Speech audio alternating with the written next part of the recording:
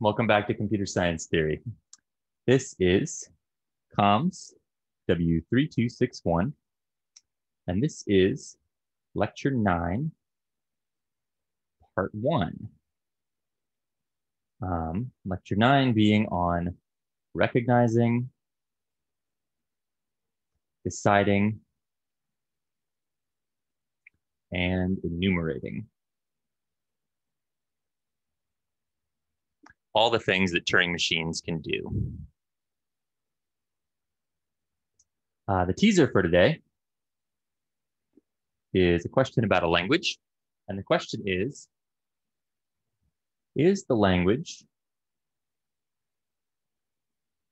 of palindromes, that is strings that, that are the same forwards and backwards, over the alphabet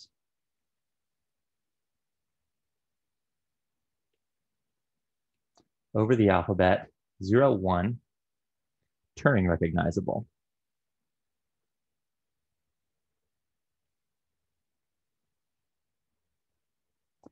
And for this teaser, I want you to think about not a formal description of a Turing machine that could, could recognize this language, but um, think about an informal description, an implementation level description, or even a high level description.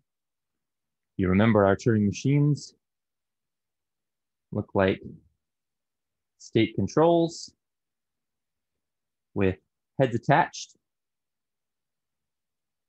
reading and writing from tapes, and shuttling back and forth. That's what they can do. So how might you go about instructing a Turing machine to recognize this language? So I'll let you pause the video now and think about it for a second, and then I'll come back and explain how I'd think about this. So this language of palindromes is L such that um, a string is a string in its reversal or W0, W reversed, or W1, W reversed. Those two cases capture the odd palindromes where W is any string in 0, 1 star, any string over the binary alphabet. And here's an implementation level. Description of a Turing machine M1 for L.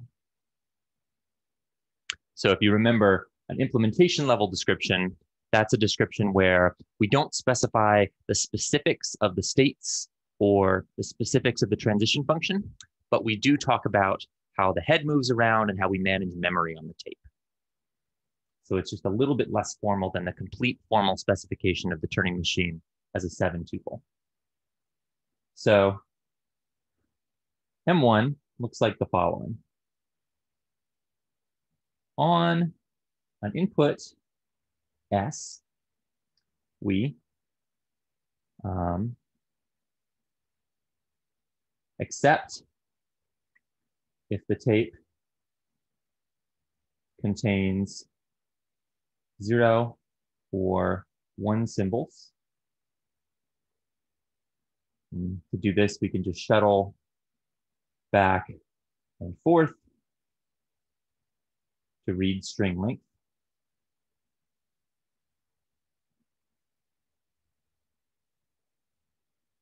So if our tape has just one symbol, or if it has no symbols, then it's clearly a palindrome. That'll be our kind of preliminary check, our step zero. And then we'll do the following repeatedly. We will remember the leftmost symbol. Um, and we can remember the leftmost symbol just by going to a state that corresponds to we just saw a zero or we just saw a one. And erase it.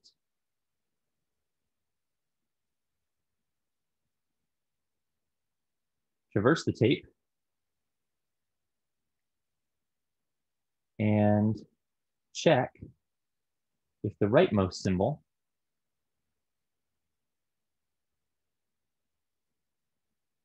matches the leftmost symbol.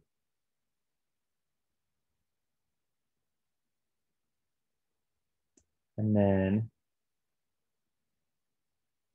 if yes, if they do match, erase the rightmost, go back to the leftmost uncrossed symbol.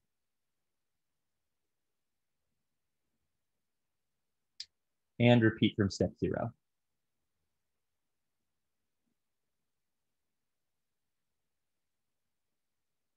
If no, reject. So this is a complete implementation level description of a certain Turing machine that I claim will accept the palindromes. To see how it might work, we can imagine I put in the palindrome 0110110. And if we follow these instructions, we would do as follows. First, we would check and see if uh, the input string contains zero or one symbols. It doesn't. So we ignore that. And now we shuttle back and forth. First, we erase the leftmost symbol. We remember that it's a zero. We go all the way to the right and erase the rightmost symbol. Now we go back. We still don't have zero symbols, so we erase this one and this one, this one, and this one. And then finally, we have a single symbol left, so we accept.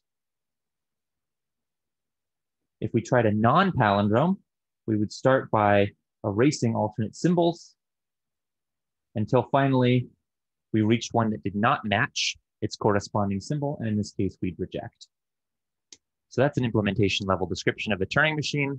We'll see at least two more of those today at the beginning of this lecture as examples. So we get more and more uncomfortable, more and more comfortable with writing these implementation level descriptions of Turing machines formally and completely. announcements for the day. Uh, homework number five is due on August 2nd. That is next Monday at 11.59 p.m. Eastern Time. And see Ed for information about the final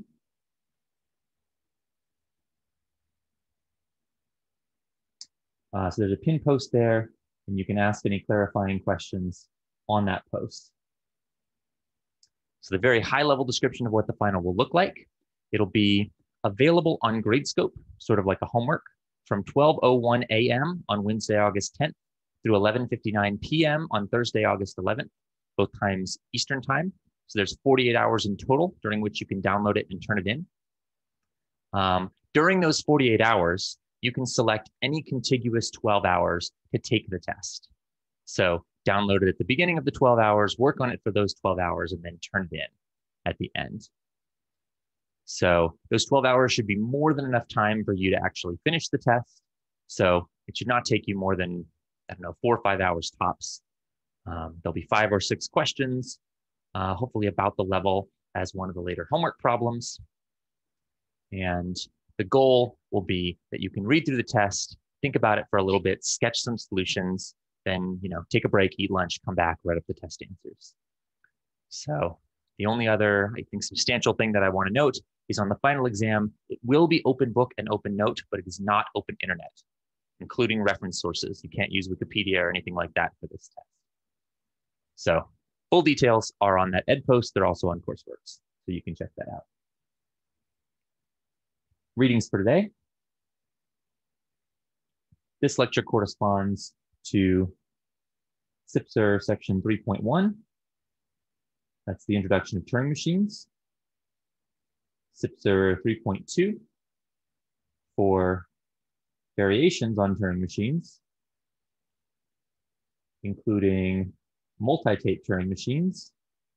Yes, we're going to go there. Uh, non-deterministic Turing, Turing machines, and enumerators. All things we'll see today. Finally, Sipser section 3.3 is roughly covers what we'll talk about in the from Turing machines to algorithms section of this lecture. So we're covering most of chapter three today. Um, that way, uh, next week we can start talking about specific languages that are decidable, recognizable, non-recognizable, and um, talk about time and space complexity classes, hopefully, if we have time. We're really getting down to it. You're on the third to last lecture. So hopefully we start to have some fun. I think we will. This is one of my favorite lectures of the whole course, this last part we'll do today. So today, we'll do basically the three sections above. We'll do a quick review of Turing machines. We'll talk about variant Turing machines, and we'll talk about uh, going from Turing machines to more general notions of algorithms and how we can do this while maintaining accuracy.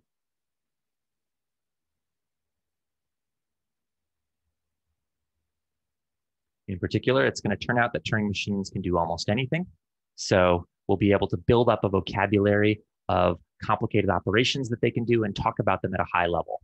Much like how if you were programming a computer from scratch, you might start with just a processor and a memory and a few machine code instructions. On top of them, you would build a machine code language. On top of that, you would build a low level systems language like C. And on top of that, you would build high level fun languages like JavaScript and Python, or even programs that make it very easy to do very complicated things in a human readable form. That's sort of analogous to the process we'll do in section three.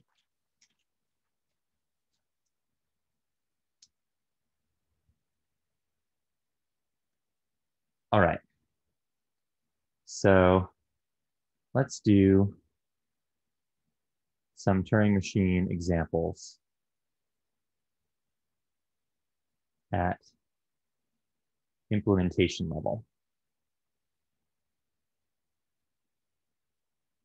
So today, for the most part, we're going to be thinking about high level stuff. So suppose we have the goal of deciding the language C equals A to the I, B to the J, C to the K, such that IJ equals K, and I, J, K are greater than or equal to one. This is a, a cool language. It's unlike languages we've seen before because it really sort of captures the concept of multiplication. We want the number of A's and the number of B's multiplied together to equal the number of C's. So you can think of this just as an encoding of a generalized multiplication problem. And as our Turing machine that decides C as being a Turing machine that uh, gives us the answer to a multiplication problem. So we're already dealing with powerful stuff. Recall that deciding means yes if in the language and no otherwise. I wrote yes and no. That's equivalent to accept and reject. Whereas recognizing means yes if in the language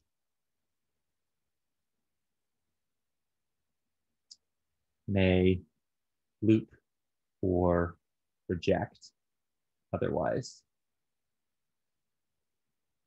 So a recognizer uh, has to recognize all and only the strings in the language, but if the string is not in the language, it may run for an arbitrarily long time or loop forever instead of directly rejecting. All right. So how are we going to do this multiplication?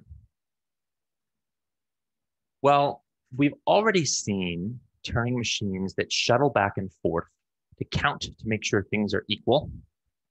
Uh, for this question, we're going to see how we might implement the implementation level, a sort of nested loop In particular, we're going to try to um, read off J C's for every A. In other words, we'll have B times A C's crossed off if everything goes well. So here's what our, our machine will look like.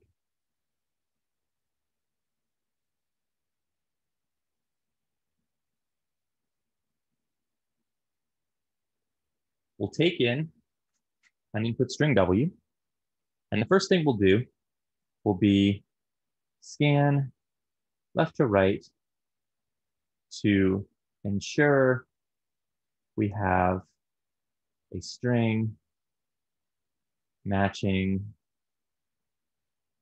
A plus B plus C plus. So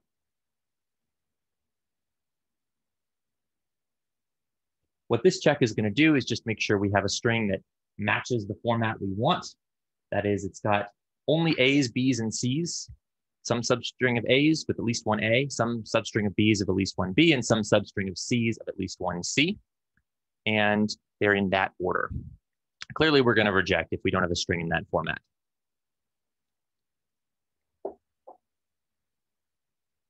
Next, we will return to the leftmost square.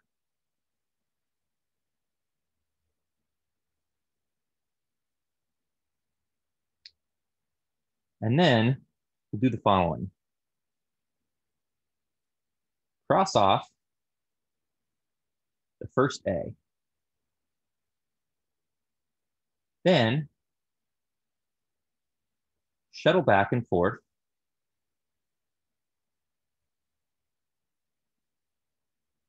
between B's and C's.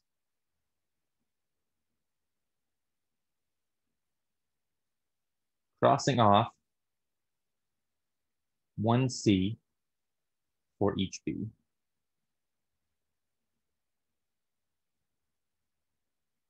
So we're going back and forth, uh, sort of like we did in the palindrome question, cross off a B, cross off a C, cross off a B, cross off a C. If all goes well, we'll cross off a bunch of C's and all of the B's.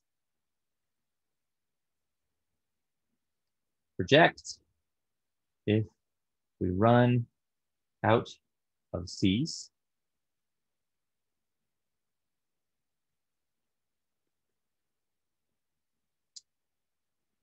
Now, if we don't run out of C's, we will restore, that is, uncross all the B's and return to step two.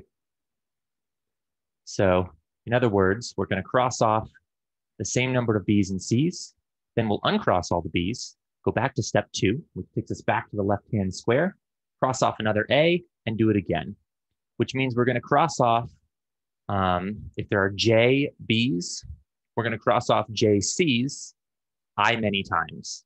In other words, we'll cross off IJCs.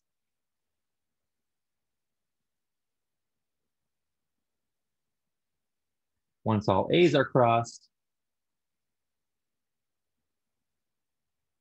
except if no C's remain uncrossed.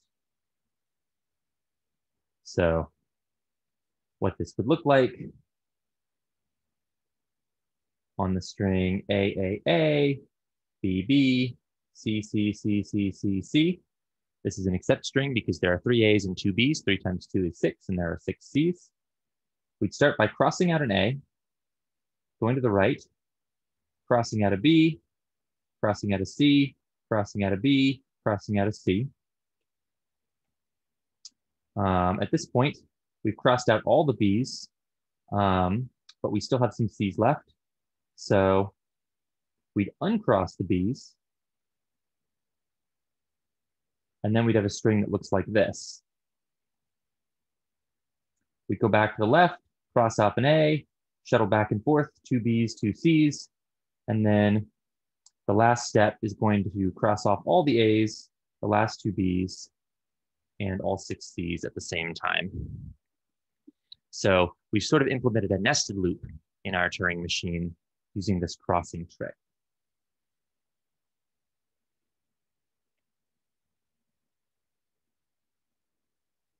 So that was multiplication on TMs. And if you want to get even more clever, you can try to um, write down a Turing machine that will multiply two numbers written out as decimals. It's a lot more complicated. You got to carry, you got to count, you got to be creative with the way you mark things, but it is doable. I'll tell you that.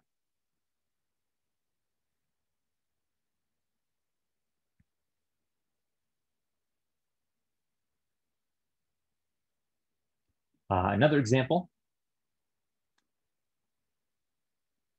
Here's a Turing machine that solves the problem of element distinctness. So we had a Turing machine that can multiply.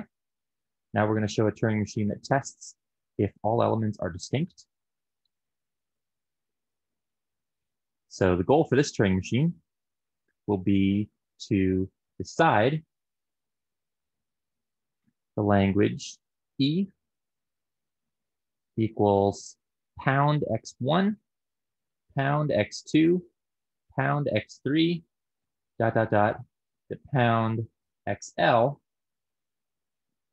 such that each xi is a string over the binary alphabet, and xi does not equal xj for i does not equal to j. So in other words, we're going to have a lot of binary strings separated by pound signs. And we're going to want to accept if and only if all the binary strings are different. So the idea here will also be sort of a looping structure. We'll compare x1 with all the xi's, i greater than 1, reject, if we find a match. Then compare x2 with all xi, i greater than 2, and so on. So we'll compare x1 with x2, x3, x4, blah, blah, blah, then x2 with x3, x4, x5, x3 with x4, x5, x6, until we have run out of pairwise comparisons to make. If at any point we'll find a, we find a match, we'll reject. If at any point um, we have finished the comparisons, then finally we'll accept. Um, so here is an example, implementation level example of a Turing machine that solves this problem, and it'll use a cool marking trick. We'll explain how you might mark tape squares to uh, solve a question like this. So machine M4 will work as follows. On an input string W, um, one, check to make sure the string is in the right format.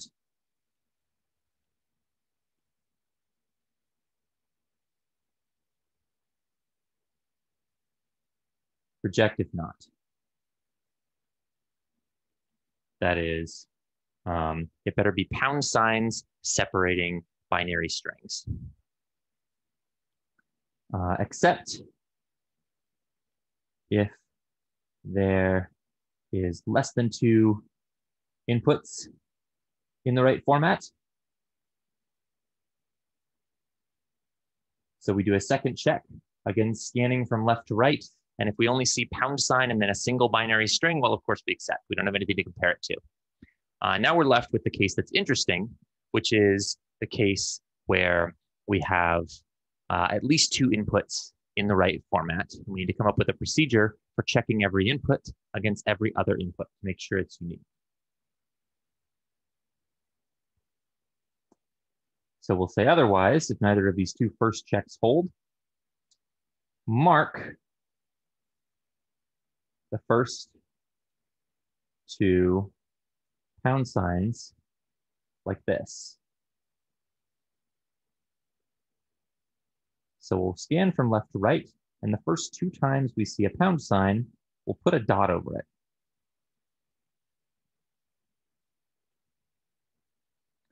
And you might be wondering, well, wait, why is it why is it legal to mark a pound sign? That seems like it's beyond the behavior for our Turing machine.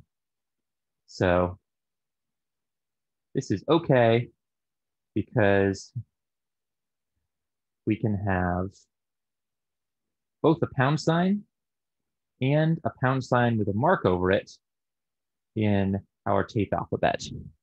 And generally, we can have any finite number of marks, right?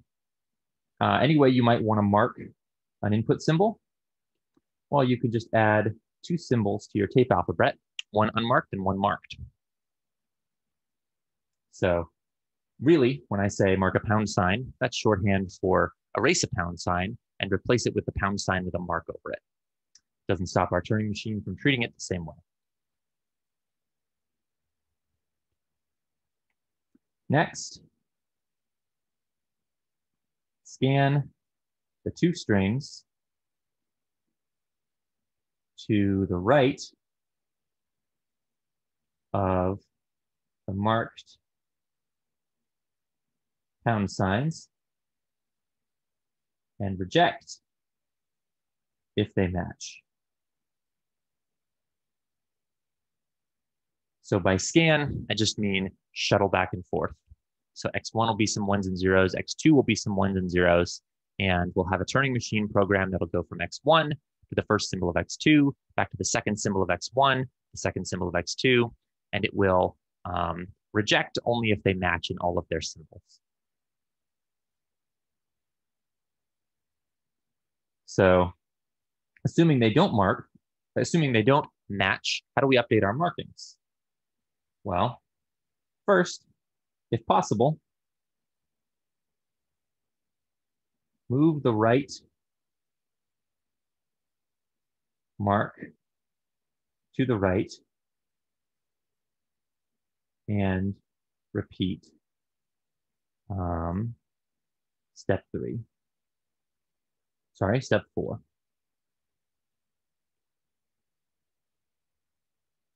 So in this particular example,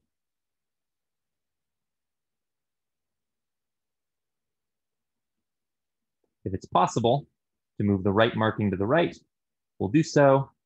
We would go from something that looks like a marked pound sign X1, marked pound sign X2, pound sign, to marked pound sign X1, unmarked pound sign X2, and then a marked pound sign for X3 and some more stuff. So what that'll mean is that we're moving the right dot on down the line, and effectively we're telling our machine to compare X1 with X2, then with X3, then with X4. And if this is not possible,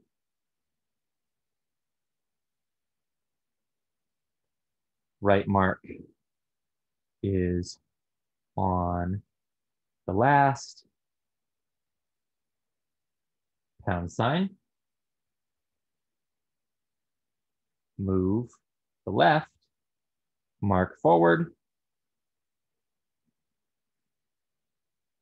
and the right mark back to the next pound sign after the left mark.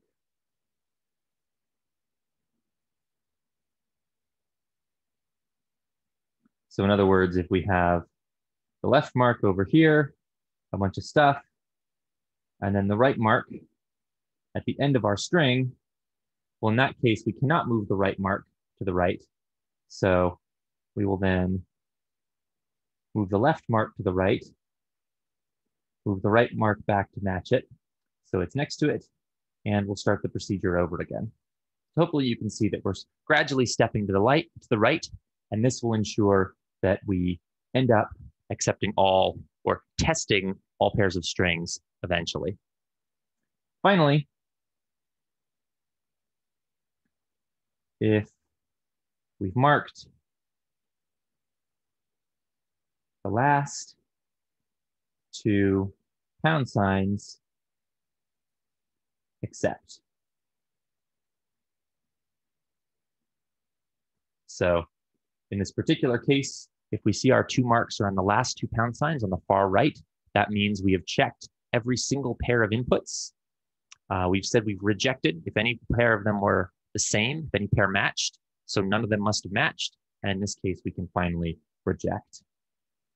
So we have this program for machine N4, this mark mover. And now we have two tactics, mark moving, looping, which we can use formally and informally.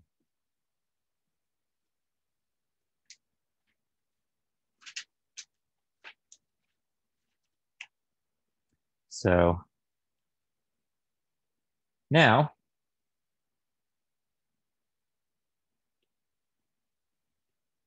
we know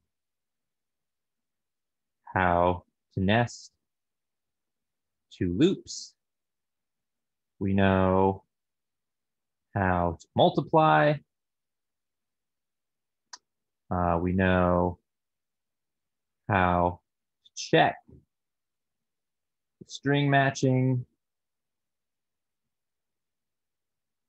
and distinctness. And hopefully it's clear not only that Turing machines have a lot more power than any automaton we've seen before, but also that our power is going to grow very quickly. So we talked earlier about proving languages regular or context free using closure properties we said, wow, closure properties are great. We can take any two languages that we know are regular and prove that their union is regular and their concatenation is regular. Well, this is much, much more powerful even than that. Because now we can say, well, if we've got any two languages, we can, you know, we can take their inputs and multiply them using Turing machines. We can nest them inside each other as subroutines. Um, we can check string matching and distinctness. We can pattern match. And this sort of intuition is what's going to move us up the chain from formal definitions that we did last time to implementation level definitions, which we'll do this time, and finally high level definitions, which we'll get to at the end of the day today, where we're able to finally just sit back and say, our Turing machines can do anything we can specify well. And all we have to do to make them run generic algorithms is write down the algorithm, and we can assume somewhere out there is a TM that'll do precisely what we want. So, yeah, hopefully you're as excited about this as I am. I kind of doubt it, but if you do happen to be, that could be a good sign that doing more research and classes in this could be for you. Uh, at any rate, that is all for this segment of the lecture, the first segment of, I think, three. When we come back, we will discuss variants on Turing machines in particular, we'll give Turing machines new superpowers and we'll show that they don't actually increase the power of Turing machines at all, which means we can assume the superpowers without loss of generality if it helps us out, further expanding what our TMs can do. Um, so I'll see you in the next video. Thanks for watching. Bye.